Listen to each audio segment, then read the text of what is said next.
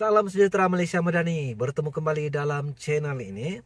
Dan kali ini Anda berpeluang mendengar satu lagi perkongsian berita terkini uh, yang ingin saya kongsikan kepada Anda semua. Sebelum saya teruskan perkongsian berita terkini ini, sebagai tanda penghargaan kepada subscriber channel ini sebanyak 4.900 lebih, saya ingin mengucapkan jutaan terima kasih kepada Anda semua.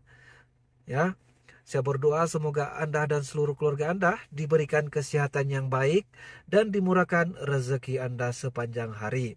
Dan tidak lupa juga kepada Anda yang baru saja menonton video ini, jangan lupa untuk subscribe channel ini dan kepada Anda yang belum subscribe channel ini, Anda boleh subscribe channel ini sekarang supaya Anda tidak akan ketinggalan berita-berita terkini, trending terkini dalam negara ini yang saya akan bawakan, kongsikan dalam channel ini dari semasa ke semasa setiap hari. Nah, tanpa membuang masa lagi saya akan teruskan uh, perkongsian berita terkini ini berkaitan dengan politik dalam negara ini. Di mana kita dikejutkan hari ini dengan kenyataan daripada satu berita yaitu Malaysia kini bahwa Hasni tawar diri bertanding naik presiden AMNO. Nah, tuan-tuan dan puan-puan semua, ini adalah satu lagi kenyataan ataupun satu berita mengejutkan buat seluruh rakyat Malaysia apabila Hasni Tawardiri bertanding naik Presiden AMNO, maka saingan untuk Ismail Sabri Yaakob makin ramai.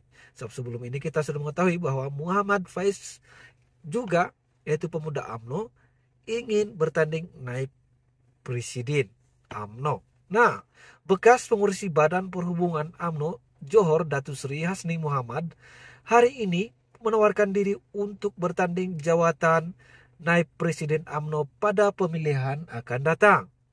Di mana ahli parlimen Simpang Renggam itu menawarkan diri bertanding jawatan berkenaan bagi memantapkan parti katanya. Dan dia juga menyatakan menawarkan diri sebagai calon naib presiden AMNO pada pemilihan parti kali ini.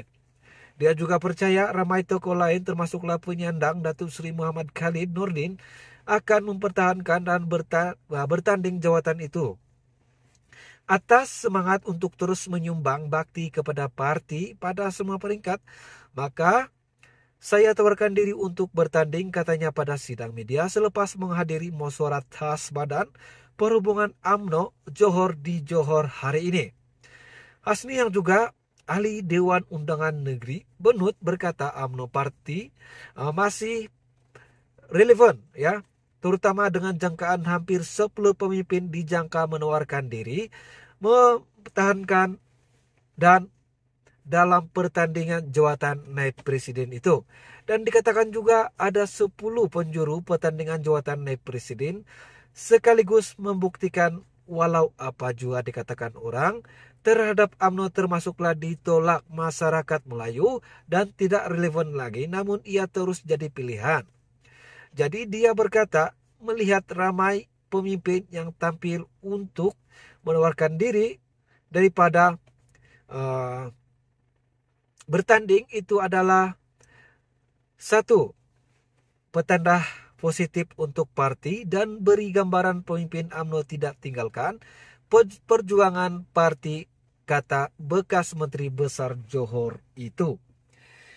Nah, semalam kita sudah eh, mendengar satu kenyataan daripada Malaysia kini bahwa Muhammad Khalid yang merupakan Menteri Pengajian Tinggi turut mengesahkan akan mempertahankan jawatannya itu pada pemilihan AMNO 2023. Jadi tahun ini. Pada 27 Januari lepas, Hasni digugurkan daripada jawatan pengurusi Badan Perhubungan AMNO Johor selepas menjawat jawatan itu sejak 2018 lagi dan digantikan dengan Muhammad Khalid. Nah, tuan-tuan dan puan-puan itu adalah satu lagi berita terkini tergempak yang saya dapat kongsikan kepada Anda semua kali ini. Di mana hari ini juga bekas pengurusi Badan Perhubungan AMNO Johor itu menyatakan berhasrat dan menawarkan diri untuk bertanding daripada naik Presiden AMNO pada pemilihan akan datang. Di mana ahli parlimen Sepang Renggam itu menurunkan diri bertanding jawatan berkenaan bagi mematapkan parti katanya atas semangat untuk terus menyumbang bakti kepada parti. Pada semua peringkat maka beliau tawarkan diri untuk bertanding katanya hari ini. Dan dia juga ahli Dewan Undangan dari Bonut itu berkata AMNO masih uh, parti dilihat sebagai relevan terutama dengan jangkaan hampir 10 pemimpin dijangka akan menawarkan diri dalam pertandingan itu dan mempertahan dan bertanding jawatan naib presiden AMNO. Dan dikatakan juga 10 penjuru pertandingan jawatan naib presiden sekaligus membuktikan walau apa ju juah dikatakan orang terhadap AMNO termasuklah ditolak masyarakat dan tidak relevan lagi namun ia terus jadi pilihan dan dia melihat ramai pemimpin yang tampil untuk tawarkan diri itu adalah petanda positif untuk AMNO. Dan dia juga menggambarkan satu perubahan untuk AMNO apabila selepas pemilihan uh, presiden dan ahli jawatan kuasa itu yang sedang berlangsung saat ini. Nah, Tuan-tuan dan puan-puan semua, akhir sekali semalam Muhammad Khalid yang merupakan menteri ya pengajian tinggi turut mengesahkan akan mempertahankan jawatannya pada pemilihan AMNO 2023.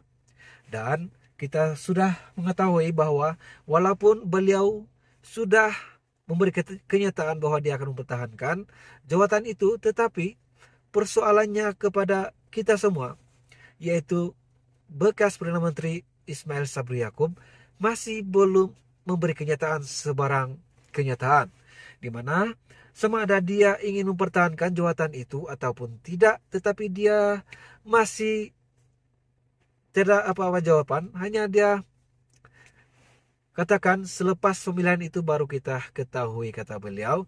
Semada dia memberikan bayangan bahwa uh, clear ataupun jawatan dia itu bakal digugat. Nah, tuan-tuan dan puan-puan semua itu saja berita politik terkini yang dapat saya kongsikan kepada Anda semua. Walaupun secara ringkas dan juga uh, ada kelemahan-kelemahan ataupun kesilapan-kesilapan daripada sebutan maupun uh, sebagainya. Saya minta maaf kepada Anda semua. Uh, saya akan perbaiki, perbaiki dari semasa ke semasa. Jadi jangan lupa untuk like dan share video ini. Uh, komen video-video daripada channel ini dan paling penting, subscribe Anda itu adalah penentu uh, channel ini dapat berkembang ataupun tidak.